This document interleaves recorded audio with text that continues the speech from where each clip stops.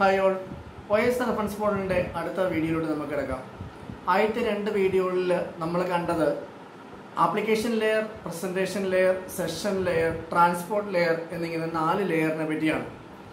നേരത്തെയുള്ള വീഡിയോകളിൽ നമ്മൾ പറഞ്ഞിരുന്നു ഒ എസ് റെഫറൻസ് മോഡൽ ഏഴ് ലെയർ ആണ് എന്നുള്ള കാര്യം പറഞ്ഞിരുന്നു. ഇനിയിപ്പോൾ അടുത്ത ലെയറിലോട്ട് നമ്മൾ കിടക്കുകയാണ്. ട്രാൻസ്പോർട്ട് ലെയറിൽ നിന്ന് ക്രിയേറ്റ് ചെയ്യപ്പെട്ട സെഗ്മെന്റുകൾ തൊട്ടടുത്ത ലെയറായ നെറ്റ്വർക്ക് ലെയറിലോട്ട് പോവുകയാണ്. നെറ്റ്വർക്ക് ലെയർ ട്രാൻസ്പോർട്ട് ലെയറിന്റെ തൊട്ടടുത്ത ലെയറാണ് നെറ്റ്വർക്ക് ലെയർ എന്ന് പറയുന്നത്. നെറ്റ്വർക്ക് ലെയറിന്റെ അകത്ത് ഈ സെഗ്മെന്റിന്റെ കൂടെ രണ്ട് ലോജിക്കൽ അഡ്രസ്സുകൾ ആഡ് ചെയ്യപ്പെടും. ആഡ് ചെയ്യപ്പെടുന്ന ലോജിക്കൽ അഡ്രസ്സിനെ നമ്മൾ വിളിക്കുന്ന പേര് ഐ പി അഡ്രസ് എന്ന് വിളിക്കാം. ഓരോ പ്രോട്ടോക്കോളിനെ അനുസരിച്ച് ഐ പി ആവാം ഐ പി എക്സ് ആവാം പല രീതിയിലുള്ള അഡ്രസ്സുകളാവാം രണ്ട് ലോജിക്കൽ അഡ്രസ്സുകൾ സോഴ്സിന്റെ ഐ അഡ്രസ്സും ഐ പി അഡ്രസ്സും ഡെസ്റ്റിനേഷന്റെ ഐ പി അഡ്രസ്സും അല്ലെങ്കിൽ ഏത് കമ്പ്യൂട്ടറിൽ നിന്ന് പോകുന്നോ ആ കമ്പ്യൂട്ടറിന്റെ ഐ പി അഡ്രസ്സും അതേപോലെ എങ്ങോട്ടാണോ പോകേണ്ടത് ആ കമ്പ്യൂട്ടറിന്റെ ഐ പി അഡ്രസ്സും ഇങ്ങനെ രണ്ട് അഡ്രസ്സുകൾ രണ്ട് ഐ പി അഡ്രസ്സുകൾ ഈ സെഗ്മെന്റിന്റെ കൂടെ ആഡ് ചെയ്യപ്പെടും. സെഗ്മെന്റ് ഫോം ചെയ്യുന്നത് ട്രാൻസ്പോർട്ട് ലെയറിൽ വെച്ചാണെന്ന് നമ്മൾ പറഞ്ഞു കഴിഞ്ഞു. സോ നമുക്ക് എങ്ങോട്ടാണ് പോകേണ്ടത്? ആര് ആർക്ക് എന്നിങ്ങനെ രണ്ട് ഇൻഫർമേഷൻസ് ഉണ്ട് കംപ്ലീറ്റ് അഡ്രസ്സ് അല്ല. അതുകൊണ്ട് നമ്മൾ ലോജിക്കൽ അഡ്രസ്സ് എന്നാണ് അതിനെ വിളിക്കുക. നെറ്റ്വർക്ക് ലെയറിൽ ഡിഫറെന്റ് ടൈപ്പ് ഓഫ് പ്രോട്ടോകോൾസുകൾ വർക്ക് ചെയ്യുന്നുണ്ട്. നെറ്റ്വർക്ക് ലെയറിൽ വർക്ക് ചെയ്യുന്ന പ്രോട്ടോകോൾസുകളാണ് I P I P X I C M B A R P മുതലായിട്ടുള്ള പ്രോട്ടോകോൾസുകൾ നമ്മൾ O S reference മോഡലിലെ application presentation session transport network data link physical എന്നിങ്ങനെ വിളിക്കുന്നുണ്ടെങ്കിലും ഈ ഏഴാമത്തെ ലെയർ എന്ന് നമ്മൾ വിളിക്കുന്നത് ആപ്ലിക്കേഷൻ ലെയറിനെയാണ് ഫിസിക്കൽ ലെയറിനെ ഫസ്റ്റ് ലെയർ എന്നും ഡാറ്റ ലിങ്ക് ലെയറിനെ സെക്കൻഡ് ലെയർ എന്നും നെറ്റ്വർക്ക് ലെയറിനെ തേർഡ് ലെയർ എന്നുമാണ് വിളിക്കുക. അപ്പോൾ ലെയർ ത്രീ പ്രോട്ടോകോൾസ് എന്നുള്ള രീതിയിലാണ് അല്ലെ ലെയർ ത്രീ എന്നാണ് നമ്മൾ ഈ നെറ്റ്വർക്ക് ലെയറിനെ വിളിക്കുന്നത്. ലെയർ ത്രീ പ്രോട്ടോകോൾസ് ആണ് നമ്മൾ I P I P X എന്നിങ്ങനെയുള്ള പ്രോട്ടോകോൾസ് നമ്മൾ വിശേഷിപ്പിക്കുന്നത്. അതേപോലെ തന്നെ ലെയർ ത്രീ ആണ് റൂട്ടർ എന്ന് പറഞ്ഞ ഡിവൈസ് ഐ പിയുമായിട്ട് ബന്ധപ്പെട്ട് കമ്മ്യൂണിക്കേഷൻ നടത്താൻ വേണ്ടി യൂസ് ചെയ്യുന്ന ഡിവൈസ് ആണ് റൂട്ടർ എന്ന് പറയുന്ന ഡിവൈസ് ലെയർ ത്രീ ആണ്. ലെയർ ത്രീ എന്തുകൊണ്ട് ലെയർ ത്രീ എന്നുള്ളത് നമുക്ക് കുറച്ചുകൂടെ മുന്നോട്ട് പോകുമ്പോൾ മനസ്സിലാക്കാൻ സാധിക്കും. സോ സെഗ്മെന്റിന്റെ പേര് മാറി നമ്മൾ രണ്ട് ലോജിക്കൽ അഡ്രസ്സുകൾ ആഡ് ചെയ്ത സമയത്ത് അതിന്റെ പേര് എന്ന് പറയുന്നത് പാക്കറ്റ് എന്നാണ് പറയുക. ഐ ലോജിക്കൽ അഡ്രസ്സുകൾ ആഡ് ചെയ്യുന്ന സെഗ്മെന്റിന്റെ പറഞ്ഞ പേര് പാക്കറ്റ് എന്ന് പറയും. ഈ പാക്കറ്റ് തൊട്ടടുത്ത ലെയറായ ഡാറ്റ ലിങ്ക് ലെയറിലോട്ട് പോകും. ഡാറ്റ ലിങ്ക് ലെയറിൽ പോകുമ്പോൾ രണ്ട് ഫിസിക്കൽ അഡ്രസ്സുകൾ അതിന്റെ കൂടെ ആഡ് ചെയ്യപ്പെടും. ഫിസിക്കൽ അഡ്രസ്സ് എന്ന് പറയുന്നതാണ് നമുക്കതിനെ വിളിക്കാം മാക് അഡ്രസ്സ് എന്ന് വിളിക്കാം.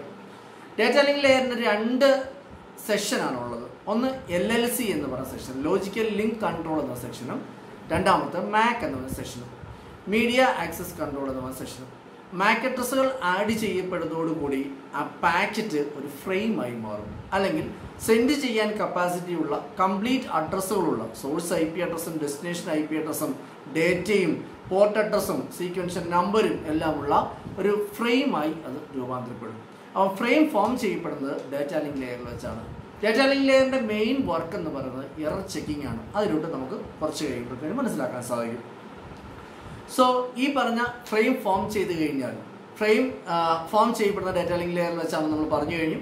അങ്ങനെ ലെയർ ടു എന്ന് വിളിക്കുന്ന ഈ ഡേറ്റാ ലിങ്ക് ലെയറിൽ വർക്ക് ചെയ്യുന്ന ഡിവൈസുകളാണ് സ്വിച്ച് ബ്രിഡ്ജ് മുതലായിട്ടുള്ള ഹാർഡ്വെയർ ഡിവൈസുകൾ അല്ലെങ്കിൽ നെറ്റ്വർക്കിംഗ് ഡിവൈസുകൾ ഇവയെല്ലാം മാക് അഡ്രസിന്റെ സഹായത്തോടെ വർക്ക് ചെയ്യുന്ന ഡിവൈസുകളാണ് ഡാറ്റ ലിങ്ക് ലെയറിന് തൊട്ടടുത്ത ലെയറാണ് ഫിസിക്കൽ ലെയർ അല്ലെങ്കിൽ നമ്മൾ ലെയർ വൺ എന്ന് പറഞ്ഞ ഡിവൈസ് ഈ ലെയർ വണ്ണിൽ വർക്ക് ചെയ്യുന്ന ഡിവൈസുകളാണ് കേബിൾസ് കണക്ടേഴ്സ് ഹബ്ബ് മുതലായിട്ടുള്ള ഡിവൈസുകൾ ഫിസിക്കൽ ലെയർ ചെയ്യുന്ന കാര്യം അല്ലെങ്കിൽ ലെയർ വൺ ചെയ്യുന്ന കാര്യം എന്താണ്?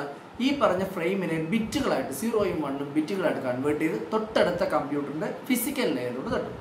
സോ ആ രണ്ടാമത്തെ കമ്പ്യൂട്ടർ ചെല്ലുമ്പോൾ ആദ്യത്തെ കമ്പ്യൂട്ടറിൽ നമ്മൾ type ചെയ്തുണ്ടാക്കിയ letter dot D O C എന്ന് പറഞ്ഞ ഫയൽ രണ്ടാമത്തെ കമ്പ്യൂട്ടർ ആദ്യമേ ചെല്ലുന്നത് എവിടെയാണ്? ഫിസിക്കൽ ലെയറിലാണ് അതുകൊണ്ടാണ് നമ്മൾ അതിനെ ലെയർ വൺ എന്ന് വിളിക്കാൻ കാരണം. ഫിസിക്കൽ ലെയറിൽ എത്തുന്ന ഈ ബിറ്റുകളെ എന്തായി മാറ്റും? ഒരു ഫ്രെയിം ആക്കി മാറ്റി രണ്ടാമത്തെ ലെയർ ഡാറ്റ ലിങ്ക് ലെയറിനോട് പുഷ് ചെയ്യും. ഡാറ്റ ലിങ്ക് ലെയർ രണ്ടാമത്തെ കമ്പ്യൂട്ടർ ഡാറ്റ ലിങ്ക് ലെയറിൽ എത്തുമ്പോഴാണ് എറർ ചെക്കിങ് നടത്തുന്നത്. എറർ ചെക്കിങ് നടത്തിയിട്ട് എന്തെങ്കിലും രീതിയിലുള്ള എററുകൾ ഉണ്ടെങ്കിൽ നേരെ തിരിച്ച് റീസെൻഡ് ചെയ്യുകയും അത് ആദ്യത്തെ കമ്പ്യൂട്ടർ ഫിസിക്കൽ ലെയറിൽ എത്തുകയും ഫിസിക്കൽ ലെയറിൽ നിന്ന് ഡാറ്റ ലിങ്ക് ലെയറിൽ നിന്ന് ഡാറ്റ ലിങ്ക് ലെയറിൽ നിന്ന് നേരെ നെറ്റ്വർക്ക് ലെയറിലെത്തി ട്രാൻസ്പോർട്ട് ലെയറിൽ എത്തിയതിനു ശേഷം എറർ കറക്ഷൻ വരുത്തി. നമ്മൾ നേരത്തെ പറഞ്ഞിരുന്നു കഴിഞ്ഞ വീഡിയോയിൽ പറഞ്ഞിരുന്നു എറർ കറക്ഷൻ എന്ന് പറഞ്ഞ വർക്കാണ് ട്രാൻസ്പോർട്ട് ലെയറിന്റെ ഒരു വർക്ക് എന്ന് പറഞ്ഞു. ആ എറർ കറക്ഷൻ നടത്തിയിട്ട് എന്ത് ചെയ്യും? തൊട്ട് വീണ്ടും റീസെൻഡ് ചെയ്യും. ട്രാൻസ്പോർട്ട് ലെയറിൽ നിന്ന് അടുത്ത നെറ്റ്വർക്ക് ലെയറിൽ വരും നെറ്റ്വർക്ക് ലെയറിൽ നിന്ന് ഡാറ്റ ലിങ്ക് ലെയറിൽ വരും. ഡാറ്റ ലിങ്ക് ലെയറിൽ നിന്ന് ഫിസിക്കൽ ലെയറിൽ വന്ന് അടുത്ത കമ്പ്യൂട്ടറിന്റെ ഫിസിക്കൽ ലെയറിലോട്ട് എത്തും. ഫിസിക്കൽ ലെയറിൽ നിന്ന് വീണ്ടും കൺവേർട്ട് ചെയ്ത് ഫ്രെയിം ആക്കി മാറ്റി ഡാറ്റാ ലിങ്ക് ലെയറോട്ട് മാറ്റുന്നു. ഡാറ്റാ ലിങ്ക് ലെയർ വെച്ച് എറർ ചെക്കിംഗ് ഉണ്ടോ എന്ന് ചെക്ക് ചെയ്ത് നോക്കുന്നു. എറർ ചെക്കിംഗ് ഇല്ല എന്നുണ്ടെങ്കിൽ അതിനെ കൺവേർട്ട് ചെയ്ത് എന്താക്കി മാറ്റി? ഫ്രെയിമിനെ നമ്മൾ കൺവേർട്ട് ചെയ്ത് ഒരു പാക്കറ്റ് ആക്കി മാറ്റി നെറ്റ്വർക്ക് ലെയറിലോട്ട് വിടുന്നു. നെറ്റ്വർക്ക് ക്ലിയർ സോഴ്സ് ഐ പിയും ഡെസ്റ്റിനേഷൻ ഐ പിയും റിമൂവ് ചെയ്തിട്ട് സെഗ്മെന്റ് ആക്കി നേരെ ട്രാൻസ്പോർട്ട് ലെയറിലോട്ട് വിടുന്നു. ട്രാൻസ്പോർട്ട് ലെയർ നേരെ അതിന്റെ സെഗ്മെന്റുകളെല്ലാം കൂട്ടി യോജിപ്പിച്ച് സെഷൻ ലെയറിലോട്ട് വിടുന്നു. അവിടെ ഓതറൈസേഷനോ ഓതന്റിക്കേഷനോ ഓക്കെ ആണോ എന്ന് ചെക്ക് ചെയ്ത് നോക്കുന്നു.